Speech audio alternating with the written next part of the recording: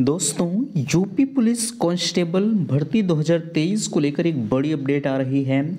जैसा कि आप सभी को पता है, यूपी पुलिस कांस्टेबल का जो फुल नोटिफिकेशन है, वो जारी कर दिया गया है। देखिए, आपके बीच में टोटल पद यानी कहा जाए साठ पदों का जो नोटिफिकेशन है वो जारी किया गया है। अगर देखा जाए, जब से नोटिफिकेशन जारी हुआ है, आप सभी के कुछ कमेंट आ रहे हैं कि भैया ईडब्ल्यूएस हमारा कब का होना चाहिए?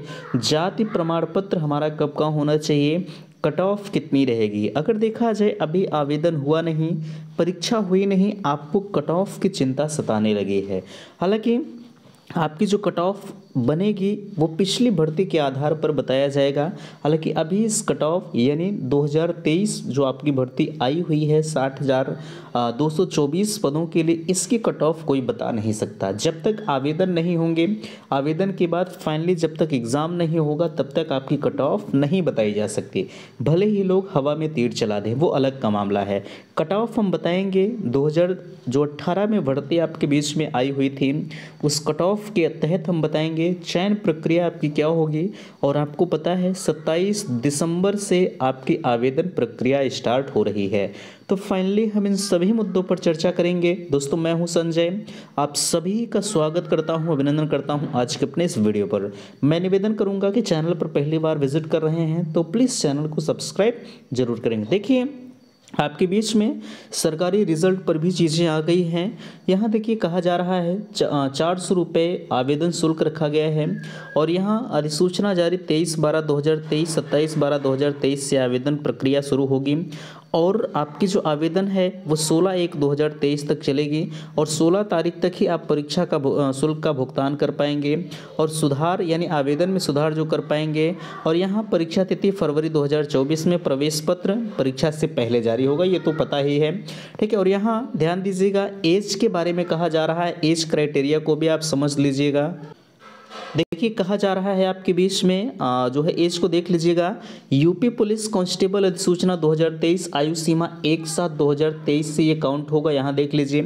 देखिए यहाँ न्यूनतम आयु जो है वो 18 वर्ष होनी चाहिए अधिकतम 22 वर्ष और अधिकतम महिला के लिए 25 वर्ष होनी चाहिए। यूपी कांस्टेबल 2023 के नियमों के अनुसार अतिरिक्त छूट आपको मिलेगी।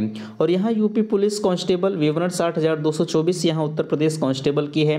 और यहाँ क्वालिफिकेशन को आप देख लीजिए। Qualification ten plus two intermediate परीक्षा उत्तीर्ण।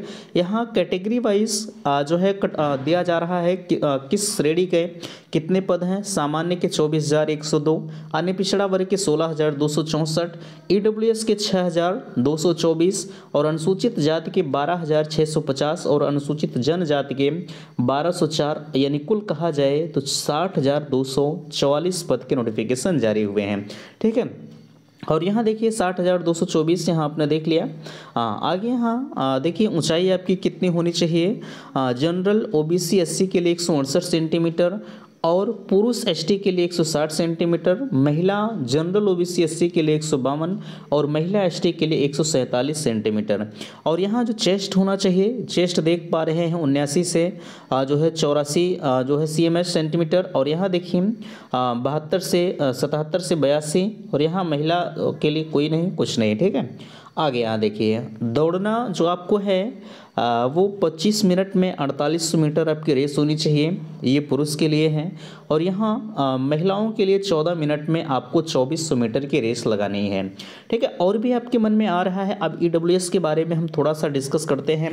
देखिए ई e जो आपका होना चाहिए, ध्यान दीजिएगा, अगर ई e की हम बात करें तो वित्तीय वर्ष दो हज़ार का होना चाहिए, ये तो क्लियर है, लेकिन आवेदन की अंतिम तिथि के पहले का होना चाहिए। ठीक है, आप इस चीज़ को पढ़ लीजिएगा।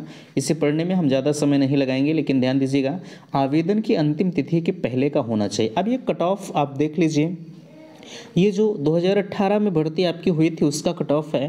अनारक्षित वर्ग का 225, अन्य पिछड़ा वर्ग का 216, अनुसूचित जाति का एक और अनुसूचित जनजाति का एक जो है तिरपन। बाकी यहाँ इधर और आप देख लीजिएगा क्षैतिज आरक्षण हेतु जो है दिया जा रहा है।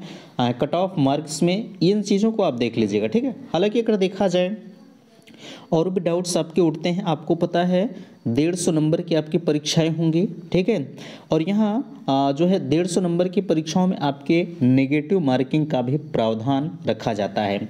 प्रत्येक प्रश्न आपके दो नंबर के होंगे, ठीक है? और यहाँ दशमलव पाँच ज़ीरो आपके जो है, एक प्रश्न पर नेगेटिव मार्किंग होगी। हालाँकि इसका फुल विश्लेषण हम अगले वीडियो में और भी अच्छी तरह से करके बताएँगे, ठीक है? फ़िलहाल के लिए जो है इस वीडियो में यहीं तक। बाकी अगर और भी कोई भी समस्याएँ होती हैं, चयन प्रक्रिया, जाति प्रमाण पत्र मैंने नहीं बताया। जाति प्रमाण पत्र भी आपके आवेदन की अंतिम तिथि के पहले का होना चाहिए, ठीक है? यानी एक अप्रैल 2023 या भर्ती के निर्धारित आवेदन करने की अंतिम तिथि तक निर्गत होना चाहिए, है ना? अगर उसके बाद का आपका होता है तो कास्ट सर्टिफिकेट काम नहीं करेगा ई भी काम नहीं करेगा।